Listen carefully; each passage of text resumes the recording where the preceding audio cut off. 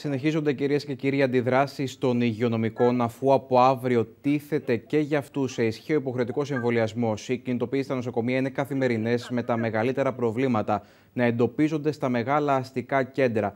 Πάμε να συζητήσουμε το θέμα με τον πρόεδρο της ΠΟΕΔΗΝ, τον κύριο Μιχάλη Γιανακό. Κύριε Γιανακέ, καλησπέρα σας.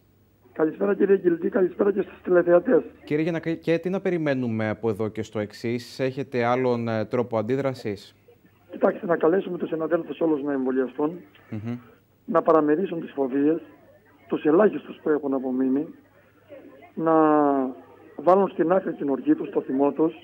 Είναι δικαιολογημένο. Η πολιτεία επί 19 μήνες είμαστε στην πρώτη γραμμή και τώρα τους πετάει στον δρόμο χωρίς ούτε ένα ευρώ μισθό, χωρίς να μας εντάξει στα βαρέα και αμφιγενά επαγγέλματα, χωρίς ένα υγειονομικό επίδομα, χωρίς τη μονιμοποίηση των εκτακτων Και να θυμούνται ότι εμείς στη μάχη με τον κορονοϊό χάσαμε 27 συναδέλφους πριν τους εμβολιασμούς, 50 στην εντατική χαροπάλεψαν αλλά ευτυχώς γλίτωσαν, διασωληνωμένοι, έσωσαν τη ζωή τους και εμβολιαστήκαμε πάνω από 70.000 συναδέλφους, οι πρώτοι από όλους και δεν έχουμε πάθει απολύτως τίποτα κανένας.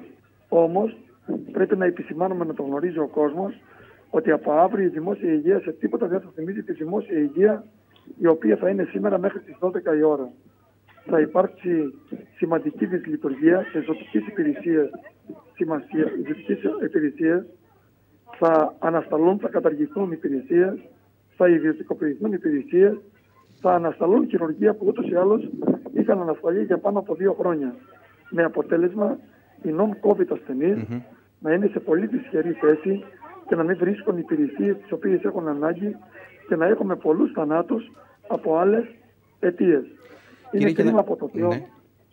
Ε, θα την πληρώσουν οι εμβολιασμένοι συνάδελφοι, οι οποίοι ήδη έχει περικοπεί η άδειά τους για τρίτη φορά.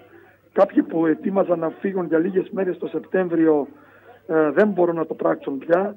Έχουν δύο χρόνια να πάρουν κανονική άδεια. Ταυτόχρονα θα μετακινηθούν σε μεγάλες αποστάσεις προκειμένου να καλύψουν τα, τα κενά. Τα κενά αυτά που θα δημιουργηθούν. Από τα κενά που θα δημιουργηθούν, εξάλλου η περιοχή σας το ξέρει αυτό, με τις συνεχνές μετακινήσεις για να καλύψουν τα τεράστια τραγικά κενά Πραγματικά. που υπάρχουν, ειδικά στην παθολογική κλινική του νοσοκομείου του Πύργου. Κύριε Γιάννα, και πόσοι πιστεύετε ότι είναι οι ανεμβολία συναδελφοί σας οι οποίοι θα τεθούν σε είναι αναστολή; Είναι περίπου το 10%. Οι 9 στους 10 έχουν εμβολιαστεί. Έχουμε υψηλό τείχος υγειονομικής ανοσίας. Δεν υπάρχει πια διασπορά του ιού στα νοσοκομεία από τους υγειονομικούς. Ε, γιατί όλοι μας τηρούμε τα μέτρα προστασίας, εμβολιασμένοι και μη εξάλλου και εμβολιασμένοι μεταδίδουν τον ιό, με μικρότερο υλικό φορτίο. Αντιμετωπίσουμε κι άλλα μικρόβια στα νοσοκομεία, τηρούμε τα μέτρα. Δεν υπάρχει διασπορά. Όμως, είναι κρίμα από το Θεό να πετάς τον υγειονομικά μετά από 19 μήνες, σαν στημένη λεμονόκουπα, να τον πετάς στον δρόμο με ούτε ένα ευρώ μισθό σε αναστολή καθηκόντων, όταν και οι κλέφτες του δημοσίου, οι βιαστές, τίθονται σε αργία και παίρνουν το μισό μισθό. Μάλιστα. Οπότε λοιπόν ε, περιμένουμε να δούμε και τι θα γίνει από, από αύριο. Παρακολουθούμε σαν το θέμα. Κύριε Γεννακέ, να Να δώσει αναβολή, να δώσει αναβολή στο μέτρο, εάν θέλει, να έχουμε δημόσιες υπηρεσίες υγείας από αύριο, για να μην πω από σήμερα, 12 και ένα λεπτό το βράδυ. Μάλιστα. Λοιπόν, κύριε Γεννακέ, να σας ευχαριστήσω θερμά για την παρουσία στο δελτίο μας.